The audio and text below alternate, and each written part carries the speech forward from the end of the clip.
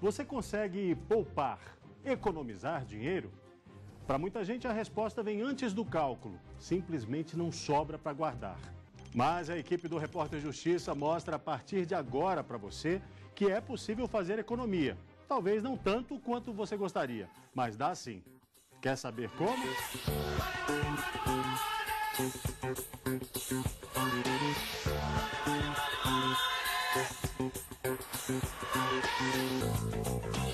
Comprar. Quem não gosta, né?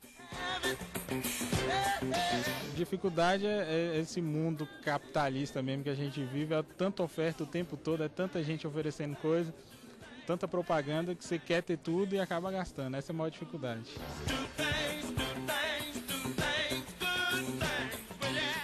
Perigo mora aí mesmo. Muita oferta, facilidade na hora de pagar e as dívidas no final do mês tomam conta do extrato bancário. O cartão de crédito, na maioria das vezes, é o vilão. Resultado: mais de 80% das famílias brasilienses estão endividadas. E como guardar dinheiro quando não sobra nem para pagar as contas? Não consegue economizar porque o que a gente ganha é só para comer e pagar aluguel. O consumismo está muito alto, então tem que fazer uma previsão para gastar só 70% do salário. Eu já, já, já poupei já, né? Mas hoje em dia está meio complicado você, você deixar dinheiro parado porque não está rendendo quase nada, né? Mas quem faz um esforcinho consegue, nem que seja eliminando aquele cafezinho depois do almoço. Faz as contas aí. Um expresso custa em média R$ 2,50. Durante a semana, você gasta quase 13 reais. No mês, 50. E no final do ano, 600 reais vão embora. Cafezinho amargo esse, hein?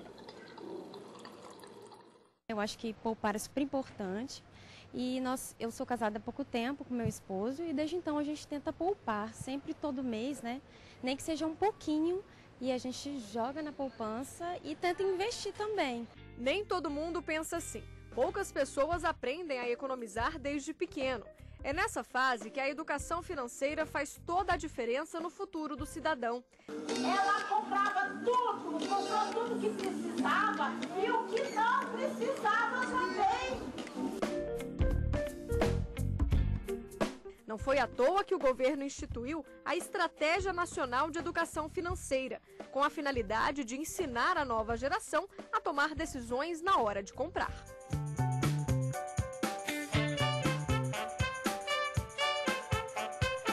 Esse colégio particular no Distrito Federal dedica uma aula toda semana para ensinar noções básicas de economia para os alunos.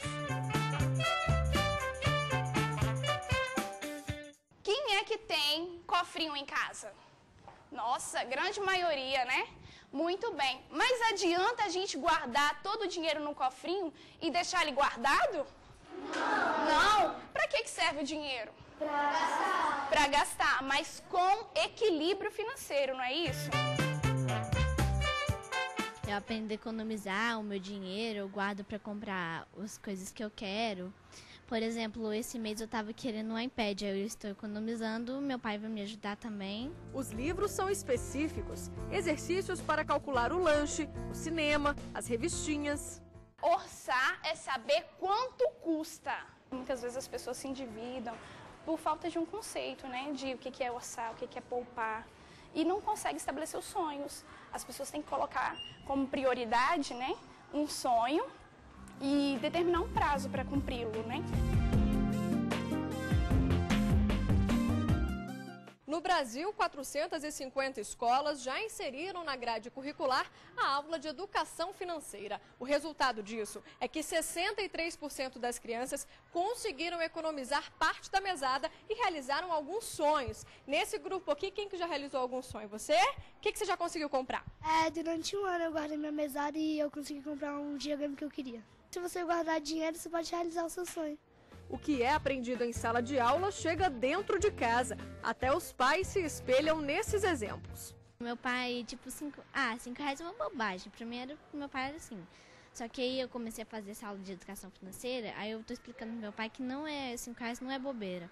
Eu aprendo que a gente tem sempre que poupar o nosso dinheiro e quando a gente for comprar algo, a gente tem que pesquisar os preços antes de sair comprando. Isso também faz a diferença, Bruninha. Pena que antigamente essa cultura de poupar não era vista assim com tanta importância.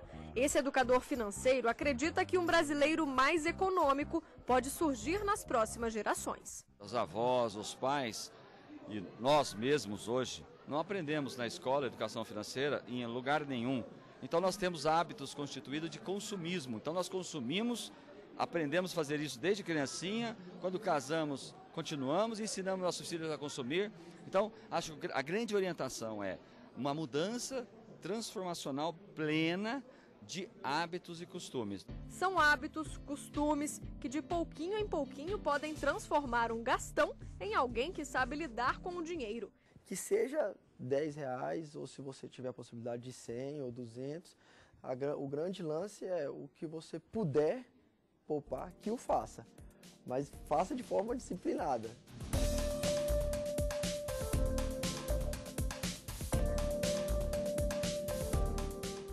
Poupança, futuro, previdência.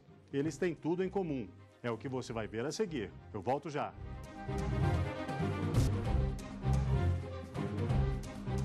Contra a urgência do agora, ninguém discute. Afinal, todos nós precisamos de dinheiro para fazer frente às despesas do mês, não é isso? Só que existem pessoas que conseguem conciliar o agora e o futuro. Guardam dinheiro para o que ainda vem por aí. No Brasil, você não precisa ser um poupador para garantir algum dinheiro para daqui a algum tempo. Basta ser trabalhador com registro em carteira a empresa onde trabalha se encarrega de recolher o dinheiro que vai ser importante para você no futuro. É a contribuição para o Instituto Nacional de Seguridade Social, o INSS, o que também pode ser considerado um tipo de poupança. O dinheiro que é pago para a Previdência, ele tem duas fontes. Uma fonte é a contribuição do segurado, é a contribuição do trabalhador. Então, esse valor que está lá no seu contra-cheque é a sua contribuição para o INSS. Mas a empresa que te emprega também contribui para a Previdência. Ela contribui com um percentual sobre a folha de pagamento dela. A Lei 3.807 de agosto de 1960 diz que o regime da Previdência existe para garantir aos beneficiários, ou seja, a quem contribuiu, a manutenção econômica por idade, incapacidade, bem como a prestação de serviços em saúde. O primeiro lugar onde se fala em direito previdenciário, se fala em direito à previdência, é na Constituição Federal. Depois da Constituição Federal, então, as leis ordinárias, que regem tanto a Previdência do servidor público, quanto rege a Previdência complementar e a Previdência do regime geral, que é o INSS. Então, a lei, existe uma legislação ampla que tenta abranger todas as situações de Previdência, que determina que todo mundo que trabalha deve contribuir para o regime previdenciário. Isso é, ao mesmo tempo, um dever e um direito.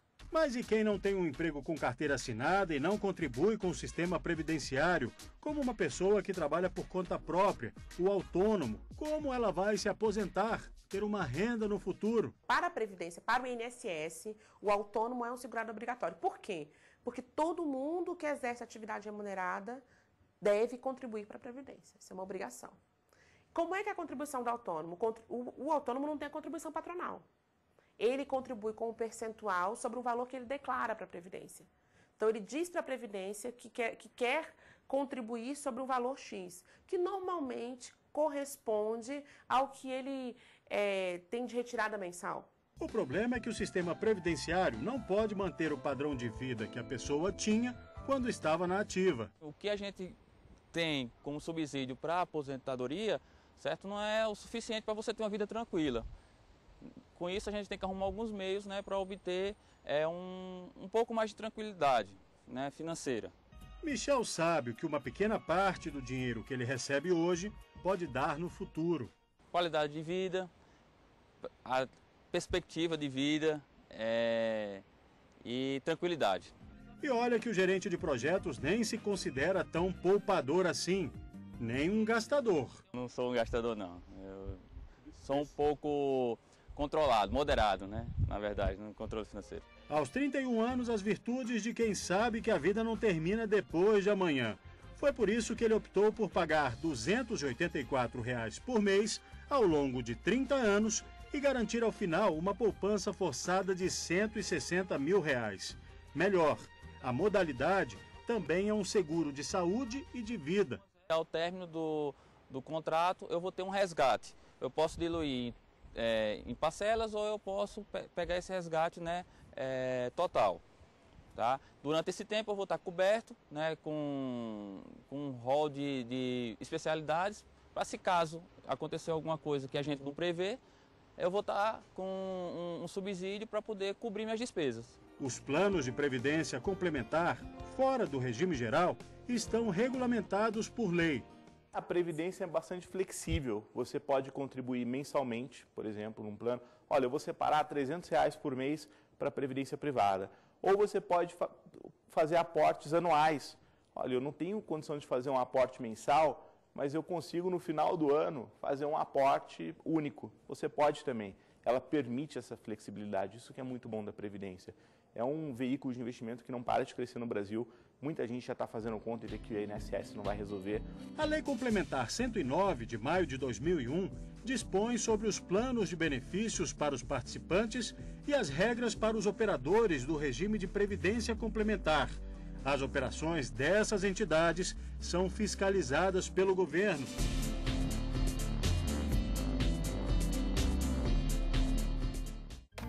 Felipe é publicitário da equipe de comunicação de um fundo de previdência de funcionários de um banco.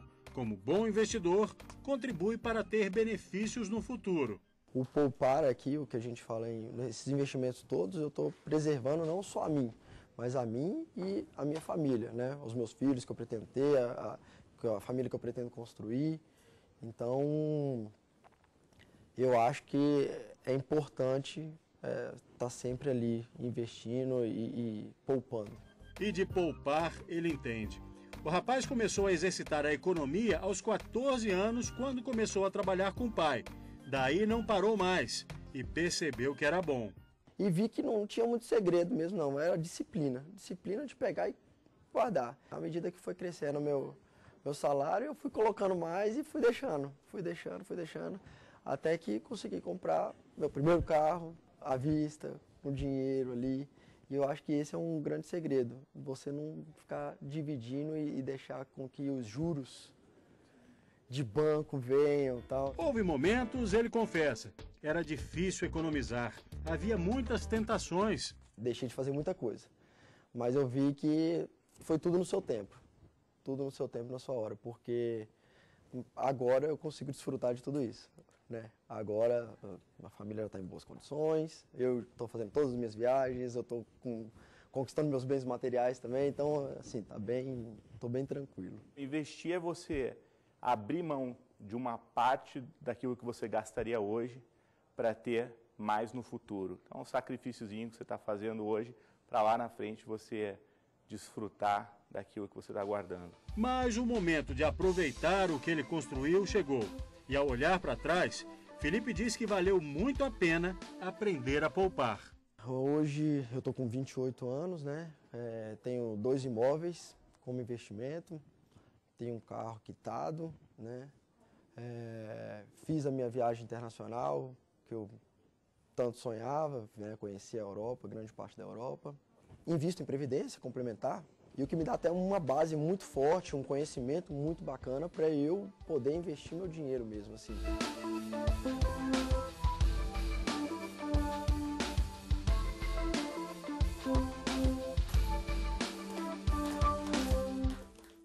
No próximo bloco, as dicas de um especialista para você que não só quer, mas precisa economizar para viver melhor. Não saia daí, eu volto já. O que fazer com o dinheiro que você aprendeu a poupar? Nós convidamos um especialista para dar dicas de como investir. Todo mundo sabe, dinheiro não pode ficar parado, porque perde o valor de compra. Qual é o tamanho da sua economia? O da poupança tem o tamanho de um imóvel? Saiba agora o que vale e não vale a pena fazer com o dinheiro das suas economias.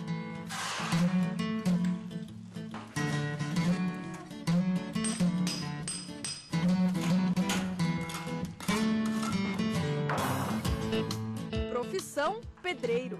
Estado civil casado.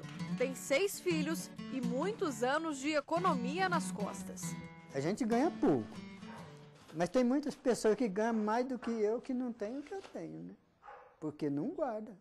Depois quer ir passear, ir nas viagens, passear.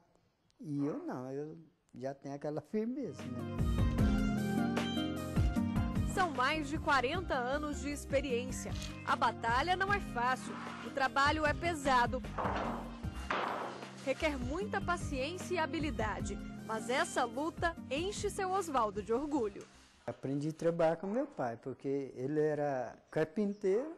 Como o serviço de carpinteiro é pouco, aí ele passou a ser pedreiro também. Né? A gente trabalha em construção, aí eu fui acompanhando ele. Né? Desde os nove anos, eu já ajudava ele, fazia massa, carregava.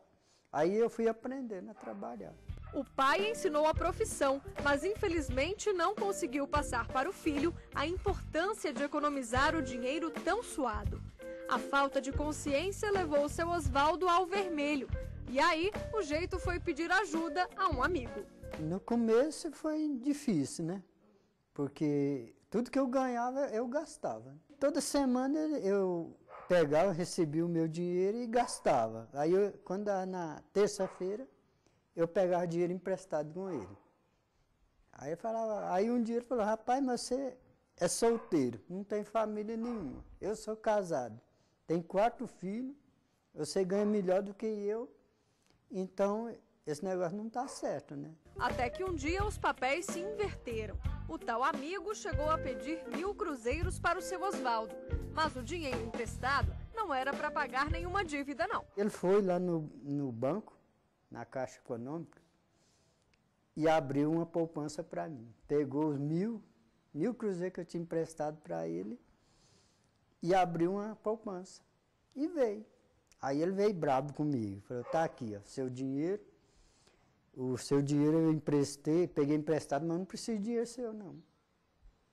Eu queria que você abrisse uma poupança e aprender a guardar dinheiro. Aí eu aprendi. Toda segunda-feira a gente, na hora do almoço, a gente escapulia lá do serviço e ia lá para o banco, depositar o dinheiro. Graças ao amigo, de lá para cá, a poupança só engordou. Economizar faz parte do dia a dia. Alguns truques ele ensina. Financiar e usar cartão de crédito, por exemplo, nem pensar. Muitas coisas a gente abre mão, né? Que... Aí eu dou um passeio, comprar alguma roupa, algum calçado, né? Eu abro mão, mas é, eu determino aquela meta, né? O resultado de tanto sacrifício é desfrutado hoje por toda a família. Seu Oswaldo soube organizar as finanças e conseguiu comprar, olha só, a casa própria, o carro próprio. Seu Oswaldo, valeu a pena então economizar durante todos esses anos?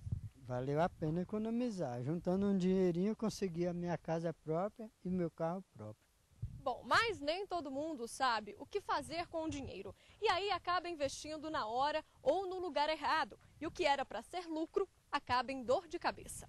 A maioria das pessoas que já investem quando nos procuram é, foi isso, automedicado, que a gente chama, a pessoa acha que sabia o que tinha que se fazer ali, é, fez errado, fez mal feito e não deu certo, porque é, o perfil estava errado, o investimento foi num momento difícil, a pessoa se desespera na bolsa, por exemplo, quando a bolsa cai, no momento não era para aplicar, ou quando a bolsa sobe muito, a pessoa entra em euforia.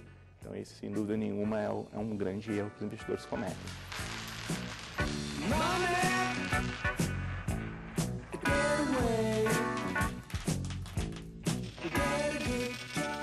A tal economia está presente na vida de todo mundo. E para não cometer esses erros, muita gente procura auxílio de especialistas. Há poucas semanas, Brasília sediou um evento que ajudou a entender um pouco mais do nosso querido dinheirinho. O objetivo do evento é falar com todo mundo que quer saber a respeito de dinheiro, é, desde quem quer fazer seu orçamento doméstico até quem quer investir. Eu acho que justamente essa falta de experiência das pessoas com o dinheiro, esse momento que o Brasil passa das pessoas se inserirem mais no contexto de uh, crédito, no contexto de casa própria, é, as pessoas são carentes de informação. Muito perigoso, a pessoa, olha, eu resolvi investir, eu vou abrir uma conta numa corretora e começar a comprar e vender ações. Quer dizer, que dinheiro que você está é, separando para isso? É o dinheiro do longo prazo, do curto prazo? Quais ações você está comprando? Por que, que você está comprando essas ações? Qual o momento que você vai vender essas ações?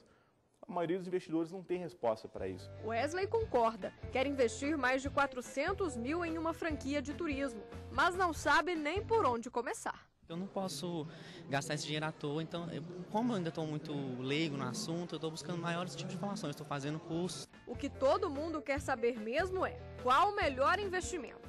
Não tem o melhor investimento, tem investimento de acordo com o seu perfil. Vou, vou te dar um exemplo. Muita gente chega aqui e fala, olha, eu tenho um perfil agressivo, então eu poderia investir em algo de altíssimo risco para buscar muito lucro. E aí a gente pergunta, tudo bem, mas esse dinheiro você vai precisar em quanto tempo? Ah, eu vou precisar daqui seis meses para comprar meu apartamento. Então, não importa se você é agressivo ou conservador. Se você vai precisar do dinheiro em seis meses, você não pode correr muito risco com o seu dinheiro. Você tem que ir para algo mais conservador. Então, mais importante do que o melhor investimento é saber quais são os prazos, quais são os planos que você tem, você e sua família têm. Isso é o mais importante. Depois de estabelecer os prazos, é preciso decidir entre consórcio, renda fixa, ações, poupança, previdência e tantos outros investimentos. As pessoas gostam muito de renda fixa porque é conservador. A renda fixa muito muito demandada são os títulos públicos, que são títulos garantidos pelo governo, ou seja, só dá errado se você se o governo quebrar, o que hoje é improvável. Uh, previdência privada é muito buscado, porque além de você guardar para o futuro, em alguns casos você vai ter benefícios fiscais na previdência privada, isso é muito buscado aqui também. E alguns fundos de investimentos também são muito buscados. Fundos de investimentos que corram um pouquinho mais de risco do que a renda fixa, mas que também não sejam tão arriscados quanto, por exemplo, Bolsa de Valores. A queridinha dos brasileiros até hoje é a poupança. Poupança é o, o ideal, né? É economizar, controlar. Olha, eu tenho certeza que a maioria das pessoas não tem a menor ideia de que a poupança rende tão pouco. É porque elas veem alguma evolução, né? então sempre tem alguma coisinha mexendo para cima. Elas pensam o seguinte: olha, é melhor deixar nisso do que em algo que eu não conheço. E é por isso que a poupança está batendo cada vez mais recordes de captação no Brasil.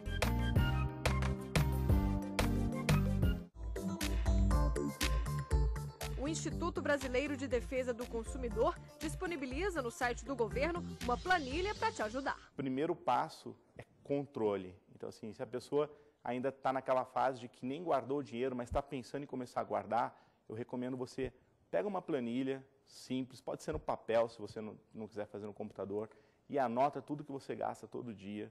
Você não vai gastar mais do que um minuto, por experiência própria, você vai gastar um minuto por dia fazendo isso. Com isso você vai ter controle. A partir do momento que você tem controle, eu tenho certeza que você vai conseguir juntar alguma coisa. Começou a juntar, aí começa a investir, aí fica tudo mais fácil. Não precisa ser um serviço que ganha muito dinheiro, é ter uma meta, né? Demora um pouco, mas consegue.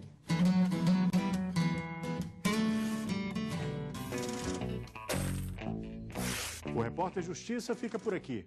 Participe do nosso programa e envie uma sugestão de reportagem para a gente. Anote o e-mail, repórterjustiça, sem cedilha, arroba stf.jus.br. Na próxima semana tem mais um assunto do seu interesse.